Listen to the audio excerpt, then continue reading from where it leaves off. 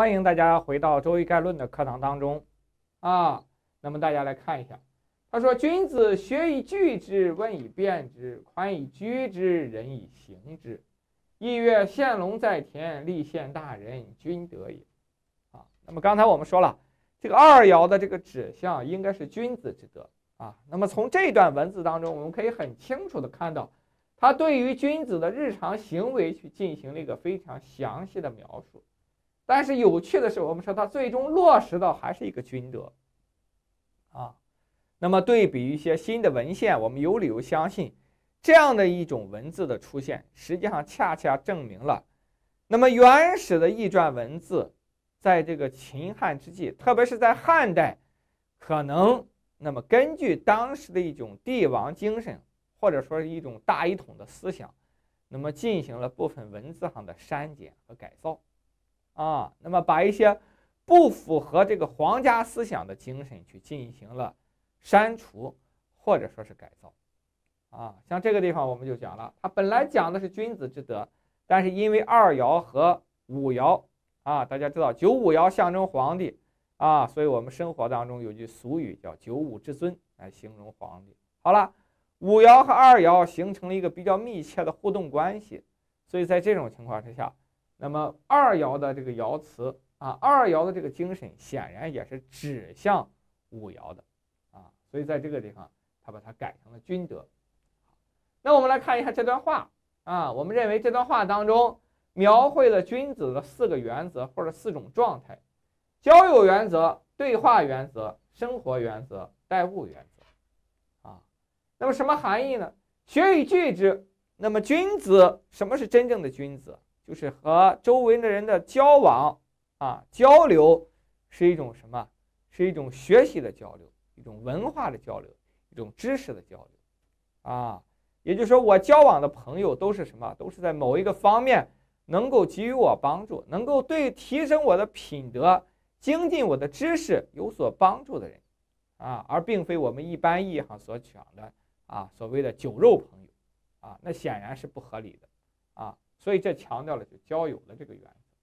对话原则，问以辨之。好了，我们在和周围人的这个知识文化的这个交流过程当中，要有一种论辩的精神啊。这个论辩精神指向了什么呢？第一个，我们要尊重他人发言和讲话的权利啊，不能说，比如说，因为我的社会地位高，那么你的社会地位低，或者说因为我是长者啊，你是后生。啊，那我就剥夺你发言或讲话的权利，那这是不可以的，啊，我们在和别人的对话过程当中，要有一种相对平等的精神，啊，我尊重每一个和我对话的这样的一个发言者，啊，第二呢，就是在发言的过程当中，我们针对于真理的某些辩驳，那么要相对来说，通过辩驳，使得我们对于问题的认识更加深刻，啊，所以我们说。真正的不搞一言堂啊，搞对话，搞问辩啊，其目的就在于增进我们对于一个知识、对于一个问题的深入的认识啊。你比方说，我个人对于一个问题的认识可能是片面的，但是我的这种片面的认识和别人的认识去进行一种思想上的交锋交流，那么最后可能我们两个原来都相对来说比较片面的方向上的认识。就会在交往的过程当中得到一个更加全面深入的认知，啊，那么这样就可以帮助我们在一定领域上啊，在一定的范围当中去拓宽我们的知识。所以我们在对话的过程当中啊，第一要尊重对方的这个发言的权利，第二要强调通过论辩的这样一种精神，使得我们对于一个问题的认识更加全面、更加深刻，啊。而不是说，比如说我抛出一个观点，啊，然后别人因为畏惧于我的权威，啊，对我的这个观点进行阿谀奉承或者恶意的这个么呢，这个追捧，啊，从而使得这个我们说不仅不能够对问题的认识更加深刻，反而可能会出现一些非常错误、非常荒谬的认知，啊，那我们说在社会发展过程当中，君子那么应该是有这样的气节。和胸怀啊，去进行相应，我们说更加合理、更加准确的这样一种对话啊那么这是需要大家注意的第二方面。第三个方面叫生活原则啊，就是宽以居之。那我们说，实际上它和这个待物原则、仁以行之两个是关联在一起的啊。也就是说，在生活当中，对待自己、对待别人啊，那么有的时候都要用一种更加宽厚的视野来看待啊，更加宽容的视野来看待。那么用一种仁爱之心来贯穿于我们的生活当中去对待周围的事物。所以在生活当中，我们强调的两点啊，第一点是强调我们要有一种比较一颗比较宽厚的心来对待生活；第二，我们要用一颗有爱的心啊，那么仁爱的心来对待生活。那么有这样的两种精神，在我们的生活以及对待事物的过程当中啊，就能够做到相对来说比较完善了啊。当然了，我们说在这个地方。啊，刚才我们提到了啊，那么交友，因此我们多说一句啊，我们来看一下，那么什么样的人适合于做我们的朋友？那我们又应该去交往什么样的人来作为我们自己的？啊，那我们说，在这个中国古代对于友的这个定义来看的话，啊，我们说有两个是比较引可以引起我们大家注意的。第一种呢是把我们的朋友分成了几类，啊，第二种呢就是强调了一个好的朋友应该所具备的这样的一种精神，啊，那么我们先来看对于朋友的这样一种分类，啊，那我们说认为生活当中我们的朋友有四类朋，啊，第一类呢是如花之友，啊，那么就强调了这个朋友在当我们风光的时候。它能够使我们变得更加风光，啊！但是呢，当我们落魄的时候呢，显然它是无能为力的，啊！就好像一朵美丽的鲜花一样，当这个女子明艳动人的时候，那么配上这个美丽的花饰，她能够更加漂亮。但是如果这个人本身不漂亮啊，或者打扮非常的过时，非常的粗鄙，啊，那么在这种情况之下，你再去给他配一个花饰。也不能够改变他本来丑陋的这个面貌，啊，所以我们说有的朋友在生活当中，那么只能给我们锦上添花，而做不到所谓的雪中送炭，啊，那么这是第一类朋友。第二类朋友就更有意思了，啊，那么有的人和我们的交往当中，就像我们与朋友之间摆了一个天平一样，啊，你低他就高，你高他就低。啊，也就是说，当你得势的时候，在上面的时候，他在你面前卑躬屈膝，啊，那么非常的恭顺的这样一种态度。翻过来，当你一旦落难的时候，啊，他立即在你面前趾高气昂，摆出一副完全不同于往日的状态，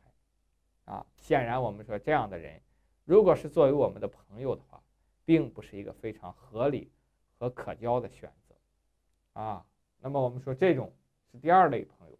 第三类朋友如山之友，那么强调的什么呢？强调的就是在生活当中，我们说有一些朋友，我们在和他交往的过程当中，那么就像巍峨的高山一样啊，他能够给予我们很多的帮助，能够给予很多的知识给我们啊。但是呢，这类朋友的不好就在于，那么他像一座高高在上的这个什么呢大山啊。那么我们在和这样的一种朋友交往的过程当中，往往存在着一种心理压力，啊，也就是说，我们很难面对这样的一种朋友进行完全意义上的情感抒发，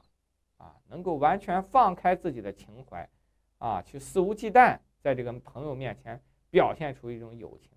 不可能，啊，那么他往往在这样的一种交往过程当中，给我们更多的是一种师长类的这样一种压力性的选择。啊，所以这类朋友对我们很有帮助，但是呢，显然他不能够成为我们心灵上的一种依靠。啊，那么最后一类朋友如地之友就强调了，这类朋友可能对我们来说看起来非常的平凡平庸，但是他能够成为我们心灵上的一种靠山依靠。啊，当我们无助的时候，当我们失落的时候，当我们感到。无可奈何，甚至于前途渺茫的时候，啊，我可以找到这样的一位朋友，向他倾诉我心中的苦闷，向他去吐露我内心当中那些不为人所知的，那么平常被我隐藏和包含起来的层面。好了，通过这样的一种情感抒发，那我们重装上阵，再次出发，啊，可能能够抖擞精神，战胜面前的困难。啊，这一类的朋友呢，未必在知识上。能够超越我们，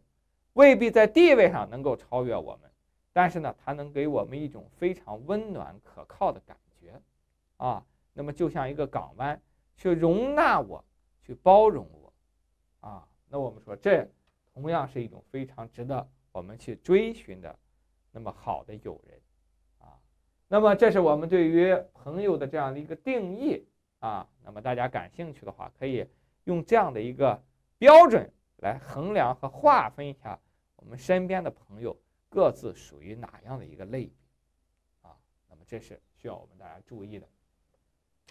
然后在《论语》当中提到了这样的三点啊，那么事实上是对朋友的一个标准的这个什么呢？是评价啊，就说一个很好的朋友应当所具备一种什么样的品德啊？我们说三种品德，第一。那么这个朋友一定是比较正直的啊，那么他是一种非常正直的人。第二呢，这个朋友是一种心胸比较宽广的啊，那么在和别人交往的过程当中，能够接纳和容忍别人犯的错误。那么第三类呢，就这个朋友一定是那么在某种方面具备优良知识的啊。所以在这个《论语》当中还有一句话说：“交友无有不如己者。”啊，就是孔子强调“三人行，必有我师”。那每一个人都有长处，那我们在和别人的交往过程当中，要善于学习别人的长处，通过别人的长处，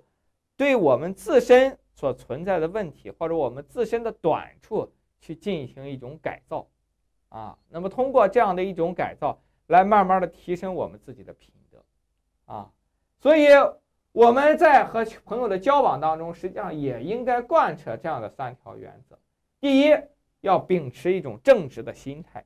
啊，那么当朋友去做一些那么错误的抉择的时候，我们应当勇敢的指出，啊，而不是说人云亦云，啊，或者说是事不关己、高高挂起。那我们说这实际上都不是一种正确，或者一种应该作为朋友所有的这样一种态度。第二呢，当朋友做了错事的时候，我们也不能说一棍子打死啊。那我们还是更多的要对朋友的错误，那么抱着一种宽容、宽宏的态度啊，去原谅他的错误。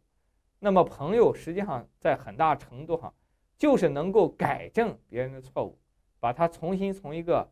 那么本来不太很正确的轨道当中变到这样一个应有的位置当中啊。那么第三个方面就是强调了，好了，那么他在和朋友交往的过程当中，或者我们在和朋友交往的过程当中，那么应当用自己的知识去改造朋友，也更多的从朋友身上学习一些有价值的知识，来改造我们自身。啊，那我们说这是我们对于朋友的这样一个定义啊，那么大家可以来看一下啊，那么这是我们说在这个。周易当中对于文辞的这样一种描述，今天的课我们暂时先介绍到这里，谢谢大家。